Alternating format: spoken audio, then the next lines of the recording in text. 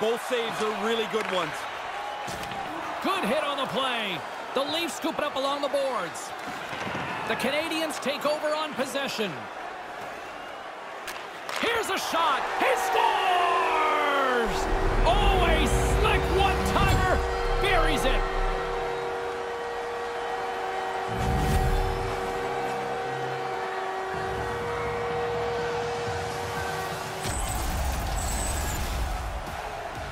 Man, he laid a beauty of a pass across there.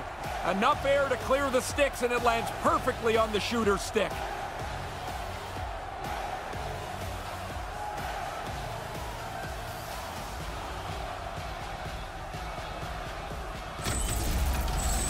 Montreal's got the game's first goal, and it comes late here in the first. I've liked the way they played the period, but really the opposition's played just as well. There hasn't been much to choose from until this marker.